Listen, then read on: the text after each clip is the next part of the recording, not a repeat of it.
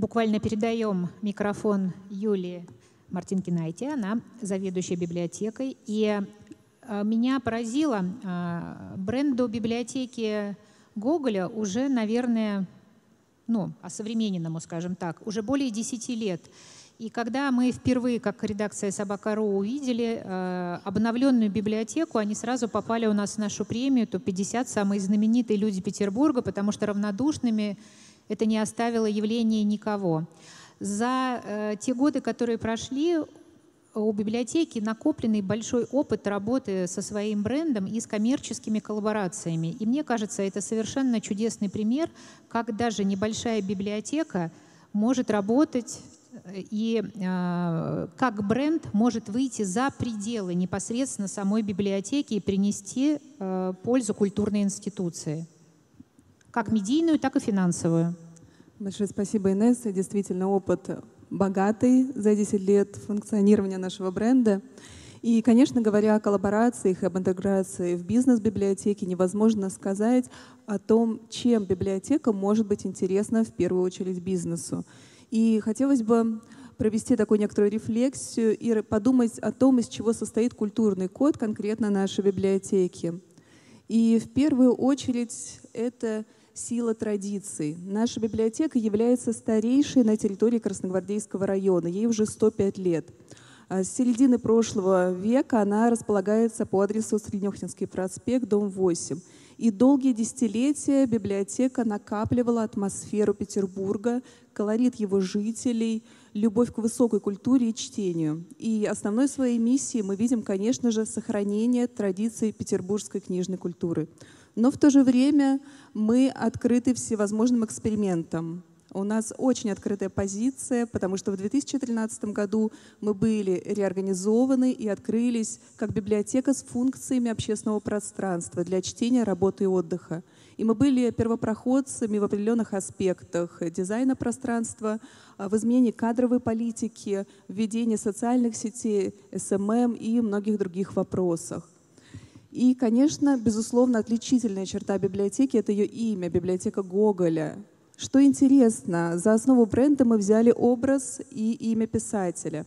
Исторически никак библиотека с именем Гоголя не связана. Однако мы создали определенную легенду нашего бренда, в соответствии с которой выстроили концепцию. По сути, мы наделили библиотеку всеми основными паттернами гоголевского места. И вокруг этого общаемся с читателем и строим свою стратегию. Создали также на базе библиотеки единственное в Петербурге интерактивное пространство, посвященное Гоголю, город Гоголя. Как известно, Гоголь очень много путешествовал, и на самом деле городом Гоголя можно назвать огромное количество городов по всей России и за рубежом. Мы освоили уже два города, это Петербург и Рим, очень важные в биографии писателя. В дальнейшем хотим освоить Гоголевскую Москву. И, по сути, интерактивное пространство — это серия медиаинсталляций, которые рассказывают о самых значимых э, событиях в биографии писателя, о его творчестве посредством современных технологий. Далее можно говорить о том, что библиотека сегодня реализует различные коммуникационные стратегии, направленные на привлечение аудитории. И за 10 лет мы видим, что достигли определенной устойчивости нашего бренда, который мы активно продвигаем.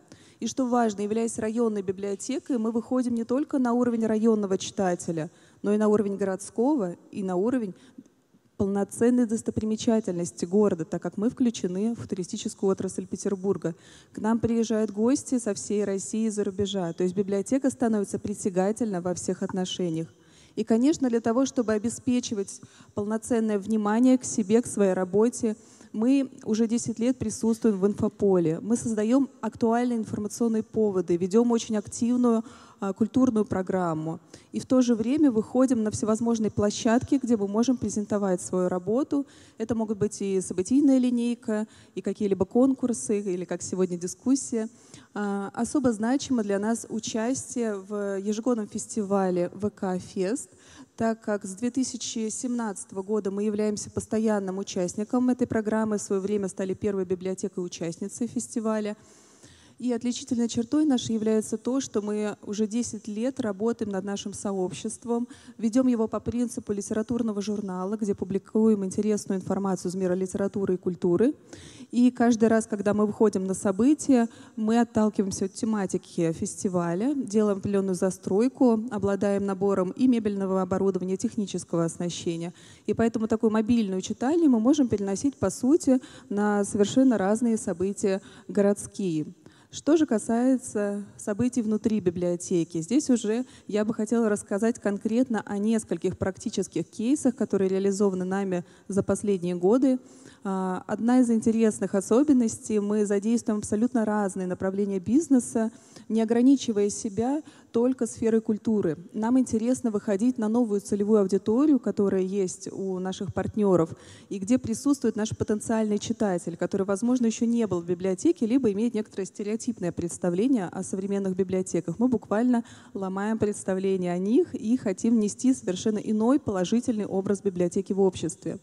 Э, с имидж-студией Дениса Осипова у нас была интересная коллаборация. Привлекали мы их для реализации нашего большого проекта «Столетие». Каждое десятилетие 20 века мы изучали с точки зрения разных аспектов. В режиме реального времени была стилизация модели в стиле 50-х. И что касается э, вообще стилистического направления, конечно, в первую очередь и самое очевидное, что мы можем предложить, это наше пространство. Но не только с точки зрения проведения событий, но и с точки зрения использования нас как съемочной локации. Несколько лет назад у нас проходили съемки лукбука магазина «Одежда Бифри». А, этой осенью, если кто-то покупал одежду для своих детей, школьную форму, мало ли, или бы видели в магазине «Лента», то весь каталог школьной формы отснят также у нас в библиотеке. То есть возможности сейчас действительно максимально обширные. Кроме того, чтобы задействовать формат э, ивента, можно также еще включить сюда и выставочную экспозицию. Интересный опыт у нас был с библиотекой необычных ароматов. А, в рамках Ночи музеев мы создали серию парфюмерно-визуальных композиций. Мы выбирали фрагменты литературных произведений, где есть описание каких-либо, а, допустим, явлений природы, которые можно проиллюстрировать парфюмерной композицией. И наши гости могли читать произведения, буквально чувствовать ароматы, а, сходящие со страниц.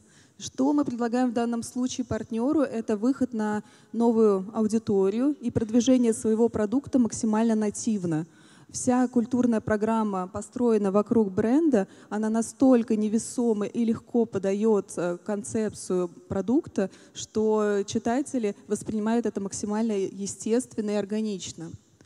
А, следующая коллаборация – это выход э, в торговый центр Мега Дыбенко, с которым мы организовали читальню полноценную для посетителей центра, которые хотят отдохнуть э, от покупок. А, мы насытили ее книгами, книгообменом, брендированной продукцией и культурной программой, событийной линейкой. Что здесь интересно?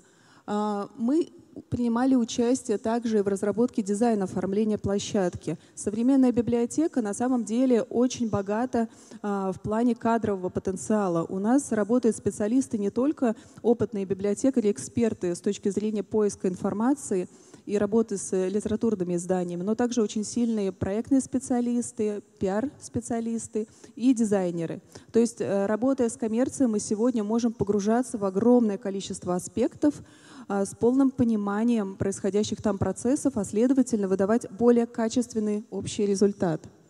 Накопленный опыт позволил нам масштабировать нашу работу и выходить уже на новый формат трехстороннего сотрудничества. В 2022 году мы создали а, серию инсталляций, которые расположились на набережной культурного квартала Брусницын, а, при поддержке и при непосредственном участии нашего ведущего партнера, группы компании RBI.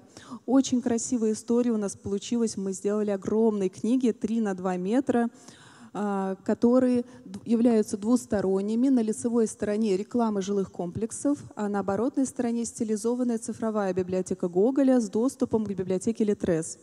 Благодаря быстрому доступу мы создали коллекцию из 160 книг, а уже более глубокое погружение позволяет получить доступ к 15 тысячам изданий. Оборотная сторона выглядела следующим образом.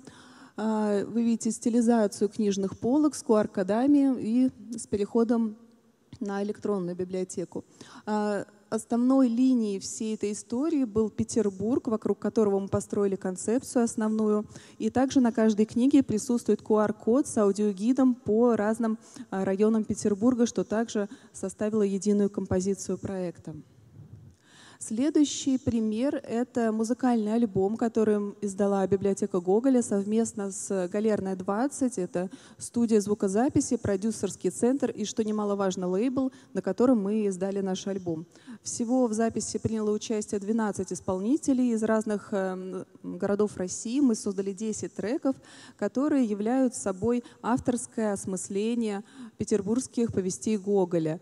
Это не прямые цитаты, это не читка, не аудиокнига, это именно авторское прочтение оригинального текста писателя. У нас приняли участие музыканты, хедлайнером у нас, конечно, стала Женя Любич, но также прекрасные музыканты, а, которые создали такую очень свою самобытную историю о Петербурге, рассказанную в очень лаконичной форме музыкальных композиций. Интересно то, что проект э, продолжает жить, и уже после того, как состоялся релиз, через полгода мы провели э, полноценный живой концерт в самом центре Петербурга, а уже позднее, буквально а через год после создания проекта у нас э, создаются отдельные фиты между музыкантами. Например, а, вышла песня Жени Любичи группы «Гафт», посвященная также Петербургу. А на следующем альбоме группы «Бюро» вышел трек, который они записали тоже в рамках нашего проекта, однако он, к сожалению, не вошел в основной сборник, но также посвящен творчеству Гоголя. Проект действительно получился максимально пролонгированным и длительным. Конечно, мы используем различные каналы коммуникации с аудиторией, а, в том числе задействуем а, всевозможные цифровые а, ВК-клипы, которые сейчас набирают обороты. Интересный опыт сотрудничества у нас был с медицинским центром 21 век. Мы сделали серию видеороликов, но, конечно, сотрудничество не ограничивалось исключительно этим. У нас прошла целая серия событий на площадке библиотеки, которая знакомила посетителей с особенностями тех или иных вопросов медицины. И в то же время у нас была пиар-компания, также совместно с медицинским центром. Разработана программа лояльности для читателей библиотеки. И интерес э, действительно был небывалый а, за счет такого нестандартного партнерства, потому что не для всех очевидно то, как может взаимодействовать, например, библиотека и медицинский центр. И, конечно, говоря о том, а, какие коллаборации мы строим, а, мы мыслим и масштабно в рамках города, э, межрегиональных проектах, но в то же время, возвращаясь к локусу, возвращаясь к тематике районной библиотеки, безусловно, особое внимание мы уделяем именно тем компаниям, которые находятся в шаговой доступности от нас. А, так, например, рядом с нами расположена пекарня «Хлебник», с которой мы сейчас запустили новую, новую программу лояльности для наших наших читателей, скидочную, и в то же время обмен а, на бартерной основе всевозможными услугами, инфосотрудничество. И нам важно привлекать бизнес, территориально находящийся в нашем районе, усиливать роль библиотеки в данном случае и а, обеспечивать взаимообмен целевой аудитории. И в целом должна сказать, что библиотека сегодня занимает максимально открытую доверительную позицию. Мы действительно стараемся предлагать нашим партнерам эксклюзивный материал, эксклюзивный опыт. К каждому кейсу мы подходим максимально э, внимательно, мы анализируем работу партнера и всегда предлагаем тот вариант, который нам кажется наиболее взаимовыгодным, наиболее нужным. Поэтому будем рады сотрудничеству и спасибо вам огромное за внимание. Спасибо, Юля.